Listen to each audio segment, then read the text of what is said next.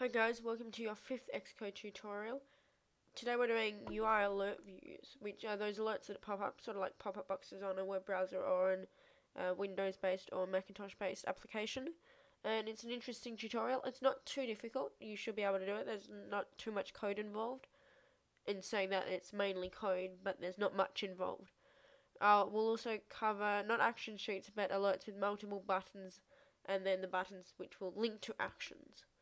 So we'll get started. Again, as always, I'm doing a single view. Again, it doesn't matter. And we're going to call this alert.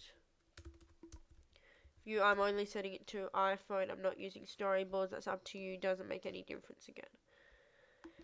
And so create that project, go into your project summary, set the iOS SDK deployment target to 5.0, get rid of landscape left and right, and go into your view controller.xib, set the view to none and add a button. The reason I'm rushing through this so much is we've been through it every other tutorial, so I'm not going to go into much detail again. I'm going to change the background as I always do, just to make it more interesting. Well, let's put Christmas colours in. I'm going to get rid of my right view just so you're able to see it. You don't need to do that. And uh, after UI view controller, curly bracket, hit enter, control or right click on the button depending on whether you're using a MacBook, what your settings are. Just right click essentially and drag the blue line to underneath the curly brackets. And you want to make sure you've got action selected, ID touch up inside sender, and we're going to call this uh, alert, and then connect. Okay, now we can start typing the code to actually initiate the alert. Um, we're going to do it in the alert field. At the end of the tutorial, I'll show you how to uh, use the UI alert so it pops up as soon as the app opens, which is pretty much the same except we put in view did load, but I'll show you that at the end of the tutorial. Uh, let's get started. We need to create a UI, and we don't need to import any libraries for this. We need to create a UI alert view, and we're going to call it alert. Uh, yeah, we'll call it alert. And then we need to do two curly brackets, UI alert view alloc, because we do need to allocate some memory uh, at the end of the second curly bracket, hit a semicolon, and then we'll start typing within those curly brackets. So, init with title, uh, message, delegate, so the really long one that you'll see with type ahead. Again, you need to use type ahead here because it will take you so long to type it out. Okay, uh, init with title, so that's the title of the alert. So I'm going to type the text to be title, and then with message, I'll type a message, just so when the alert pops up, you'll see where everything correlates. Um, make sure you do at then two talk marks because it will be an NS string. Obviously, it's a string because it's going to be text. Delegate nil. We don't need a delegate for this. Or uh, we'll do self actually. So do self. You might get an error if you do nil. Cancel button title, and we can call this cancel. Other button titles. Uh, this is where we can have any other button. So let's have another button called second button or second button, comma nil and it's giving you an error obviously which is that we're missing a curly bracket at the start which we're not. So let's go through the code and see what's gone wrong. UI alert alert view intimate target. Uh, let's keep going and see if that fixes itself which it may. Then we want to do alert show and in that and now let's go through. And it's giving me the error is here and this is a good debugging lesson too. If you've got an uh, little red circle with a dot in the middle it means it's got a suggestion for how to fix it. If you've got a red one with an exclamation mark which it's going to now it means that there's an error and it's not quite sure what to do about it. That's up to you. If there's a yellow triangle I think it is it just means there's a warning. It may cause problems. It may not might just be, you know, you've got a variable you're not using, what's the point of having it? You should get rid of it. Uh, let me go through this code and we'll see what's gone wrong. Because it looks like it's all correct. So, um, yeah, it's a bit bizarre. Why don't we get rid of this second button title and then we'll see if that helps try running it, and we've still got the errors, which means we've done something wrong. And the issue is quite complex actually.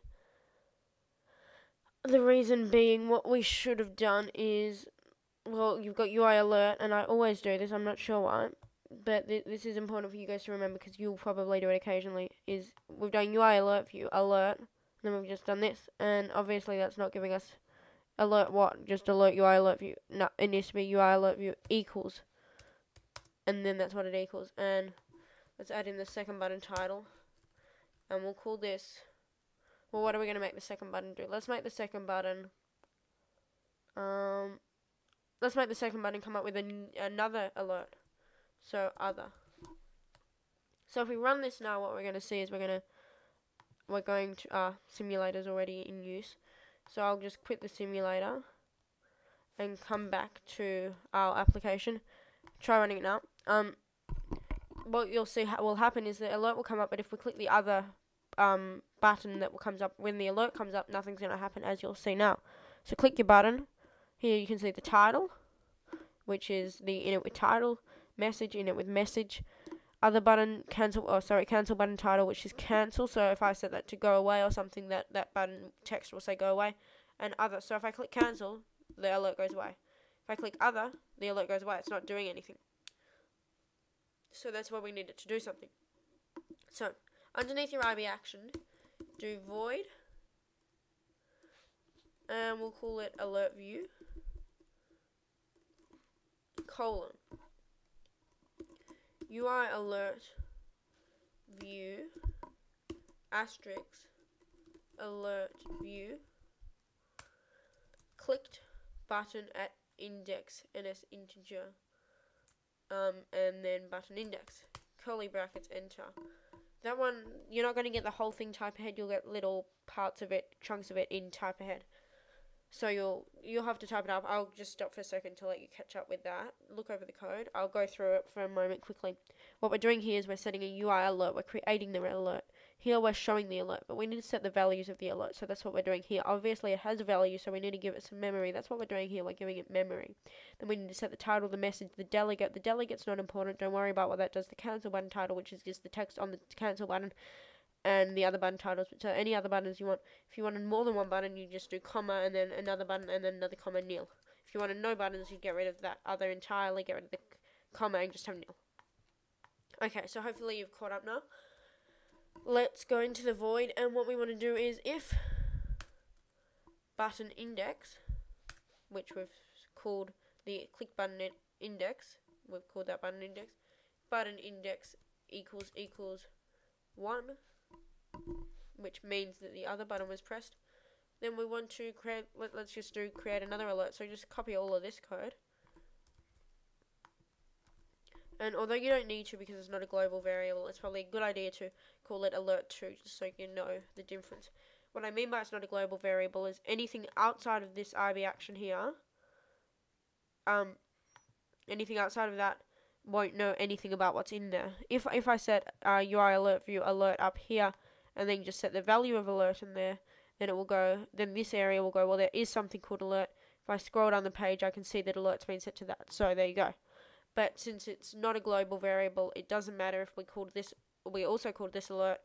But for the purposes of simplicity, we're going to call it alert 2. And we'll just say other title, other message, just so you know it's a different alert. And other cancel. And we don't want there to be any other buttons here because this is the other, this is the link to the other button. So just nil. Now let's see if we run that, whether that works. Click the button, cancel works. Now other, there we go, the other message has appeared. And if we click other cancel, there you go.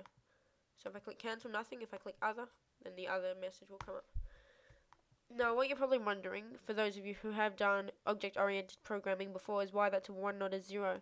Because as you would know, in a computer array, it's going to be 0. Because 0 is sort of the equivalent of 1, I guess you could say. The reason being is that the cancel button title has the value of 0 in the array of buttons, and the other button title has the array tag of 1 in this particular button array. So that's UI alerts for you. So not much more to it. I'll cover action sheets in another tutorial. I personally don't like action sheets. Why use them when you can use this? Action sheets are the alerts pretty much that come up from the bottom and sort of just stay there. I'll also in a later tutorial cover using text boxes within the alert, which um you can fiddle around a bit. So I could try you know changing alert. So fiddle around, see what you can do. You know you can insert a sub view, put an input view. So do a semi uh, uh, square bracket alert, and then have a look at what else you can do with it. Because there's a lot you can do. Is visible. Uh, make text. Uh, uh, you can, if you wanted to add text, you can make the text right to the left or the right. You can detect when touches have occurred. You can choose the number of buttons. You can do a whole lot of things. So fiddle around with them because obviously I can't go through every single one here. And a lot of them are in the Apple documentation, which, if I'm honest, isn't the best, but it does cover things to a good enough extent that you can use them if you want.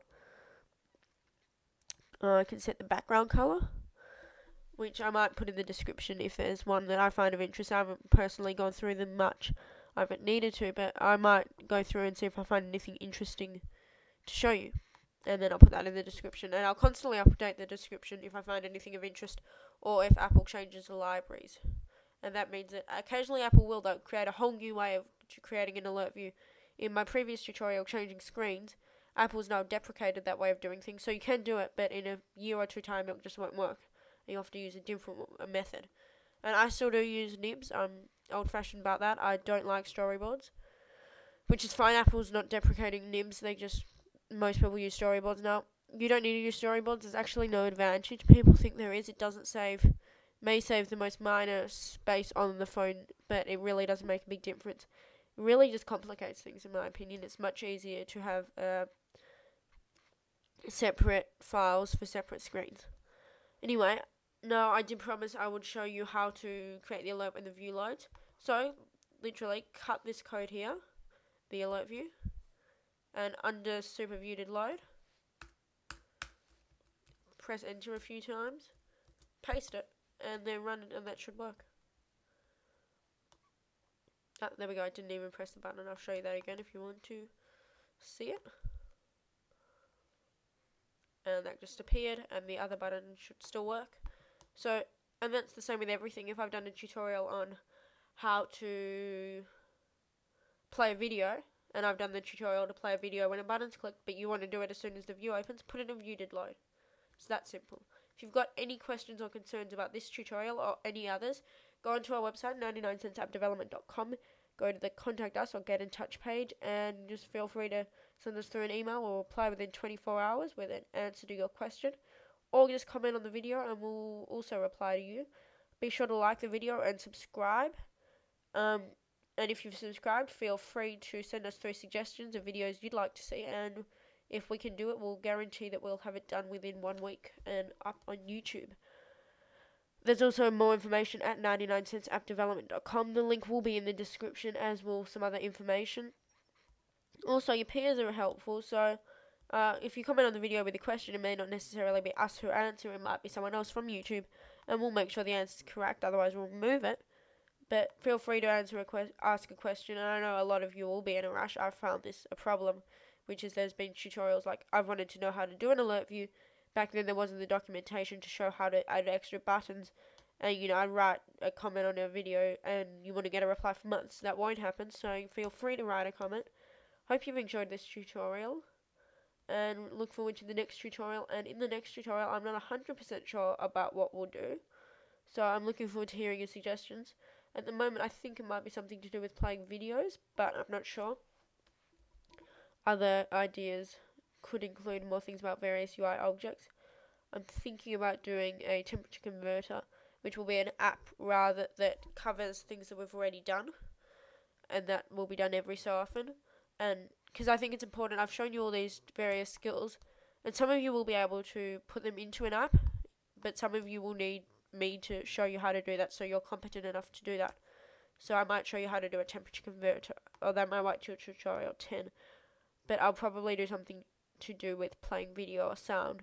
I'm also uh, tutorial 7, which will be in two tutorials time. I'm going to be showing you how to with uh, the iOS SDK 6.1 how to post things to Twitter and Facebook without having to use their documentation and libraries, which is really incredible. So look forward to that and see you next time.